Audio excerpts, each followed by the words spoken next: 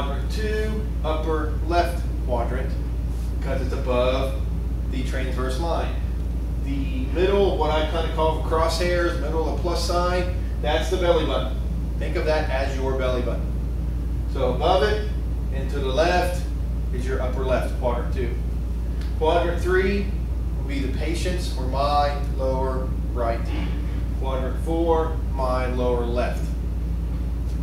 And I have this blue arc right here. The blue arc is what separates the abdominal cavity, my stomach, what we usually call it, my abdomen, from my thoracic cavity, up here where my heart and lungs are at. And what that is, is the diaphragm. It is a muscle of inspiration. When the diaphragm pulls down, air goes in. The diaphragm relaxes, air goes out when you're at rest. If I'm exercising real hard, I may recruit some other muscles to help air, more air come in and out to lift the rib cage and do some other things. But at rest, the diaphragm is a muscle of inspiration. When it pulls down, the lungs inflate.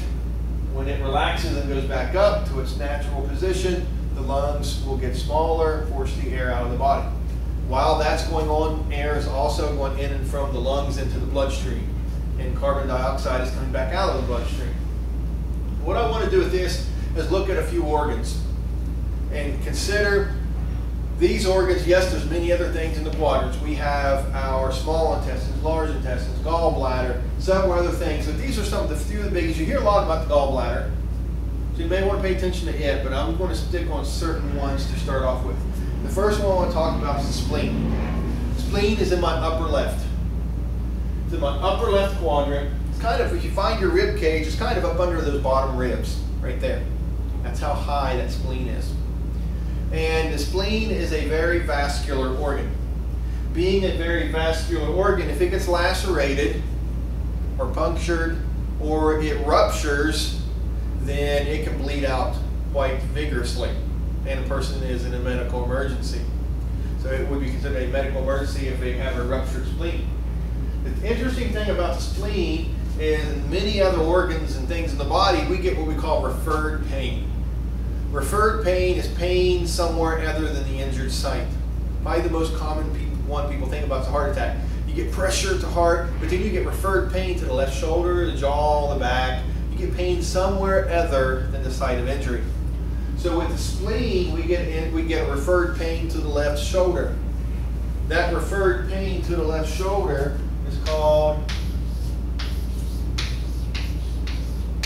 a Kehr sign. Usually it shows up about 20, 30 minutes after the injury, sometimes quicker, but it's referred pain to the left shoulder. If you're palpating someone that has injured their spleen, you may push and cause referred pain to the left shoulder. That ache pain feeling in the shoulder. So Kehr sign. So spleen, definitely want to pay attention to it. One of those illnesses that can affect the spleen is mono. Someone gets that quote unquote kissing disease. Mono, usually in the winter, especially for school age kids, college kids, close quarters, especially athletes, they're sharing drinks all the time, water bottles, and then they end up getting mono. Mono causes splenomegaly. Splen is the spleen, S-P-L-E-N. Megaly is enlargement. If a large spleen, then we could get it injured if we get hit. So when you think about athletics, it takes on a whole other connotation. Next thing we'll look at is the appendix. Appendix is in my lower right quadrant. My lower right quadrant. And one thing to think about is with the appendix uh, is to be able to find it. One way to be able to find where your appendix is at, if you find your belly button and find the hip bone on the front of your body right there, so kind of the bone that sticks out right on the front, on the front. We call that the ASIS, anterior superior iliac spine. It's abbreviated ASIS. So if you think of a, an imaginary line from your belly button to your ASIS, you go two thirds of the way down that line from your belly button from the navel toward the ASIS and come about thumb width above. So two thirds of the way from the umbilicus to the ASIS, about a thumb width above or two fingers, two fingers width above, you're over top of where your appendix is at, about right there. We call that location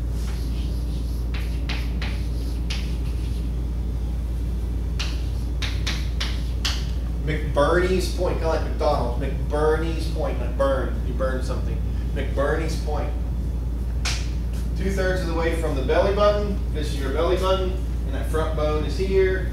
Come two thirds of the way down, and a little ways above, and you're over top of your spleen. Or your appendix, I'm sorry. I looked up and saw spleen, that's what come out of my mouth. So you said you're over top of your appendix.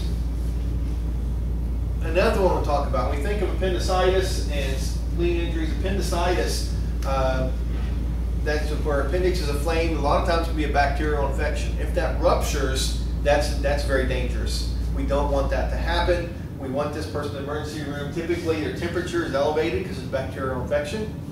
About 101, 101.5, somewhere in there. Pretty standard, pretty close to that temperature. Uh, they're also feeling nauseous, pain over McBurney's point, in that lower right quadrant pain. They may get radiated or referred pain around the flank, so around to their back. Uh, may also get pain there. Uh, if they pull their right leg back, so you take their right leg and pull it back, so if they're lying, especially if they're lying prone, and you lift their right leg off the ground, it'll pull those muscles tight over top of it, and that causes pain. So a lot of things, okay, wait a second, if they're lower right quadrant pain, and it's over McBurney's point, and they have a temperature, but they haven't been feeling good, then this person needs to go to the emergency room immediately and be checked. Because uh, you don't want a ruptured appendix, because then all that bacterial infection gets out into the gut, and that all has to be cleaned out, because that could be deadly to someone. Next one we'll look at is the liver. Liver is in my upper right quadrant. And again, it's rather vascular structure. If it gets lacerated, uh, then I have a major problem. Uh, with the injury to the liver, you have upper right quadrant pain. Uh, you could get referred pain to the right shoulder with the liver. Uh, the other thing to think about is if one of these are bleeding out, and we'll talk about here in a second, is uh, what we call hypovolemic shock. And we'll come back to that in a few minutes. Someone's bleeding out. What, what, how's it going to show up? How are we going to know this if they're bleeding? Internally and not externally. So we've covered spleen, the appendix, the liver. Next we'll look at the bladder. It's kind of lower middle. We think of quadrants three and four. So lower right and left. But the thing I want to mention about the bladder is that yes, it can be injured. Uh, someone can get blood in their urine. We call that hematuria. H-E-M-A.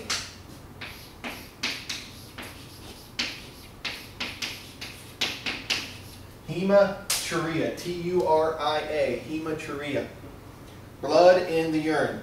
The only ways blood can get in the urine is kidneys, the, your, the uh, ureters going from the kidneys down to the bladder, and the urethra from the bladder out.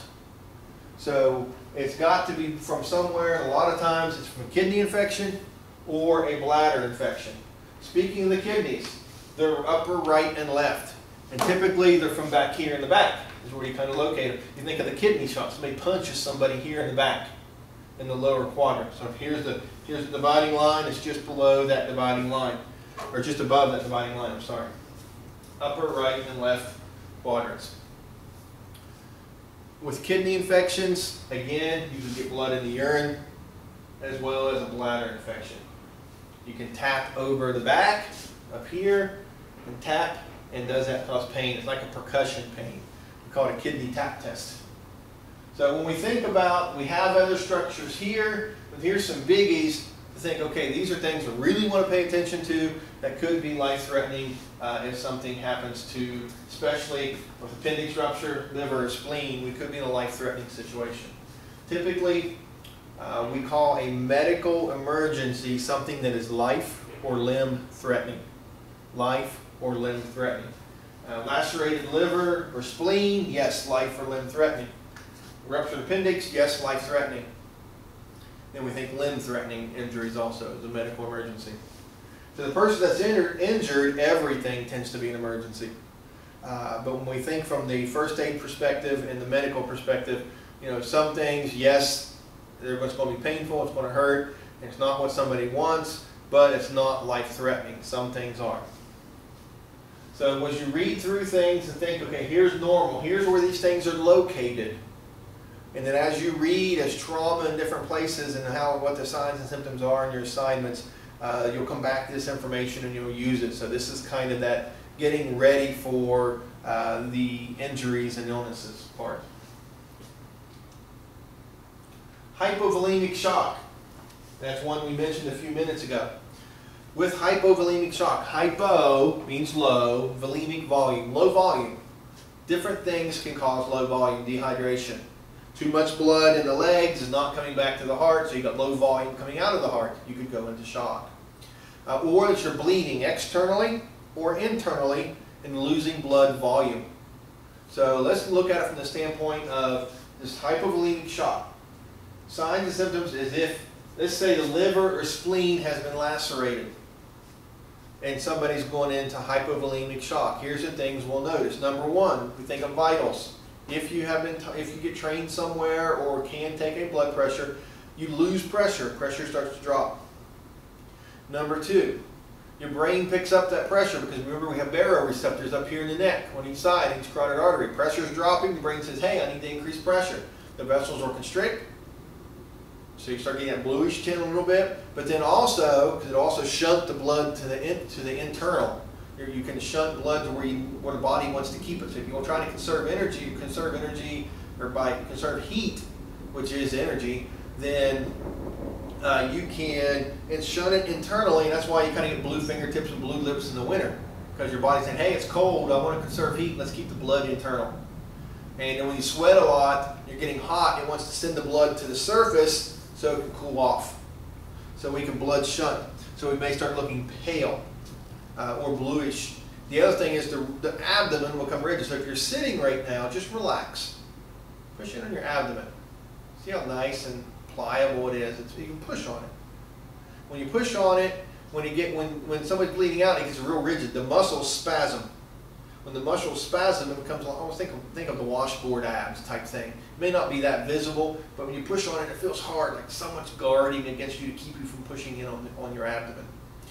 The other thing is if you push it on the abdomen and they allow you to, say if it's if it's my spleen up here, you could push it on down here on the lower portion even and push it and let go real fast. So if you're sitting there relaxed, take your hand, push in on your abdomen, sit relaxed, let go real fast. If you push in let go real fast, you feel that bounce. They call that rebound. And when somebody's bleeding out internally, they'll have rebound tenderness. When that rebound happens, it's painful. They might, they'll probably let you do it once. So we have all these things going on. They may feel dizzy, they may feel nauseous, they may be throwing up, vomiting.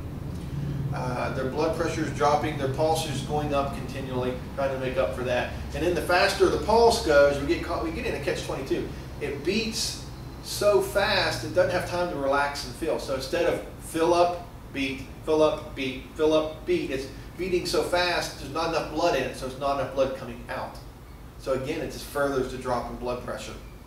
Uh, so that, that, that's another problem within itself there.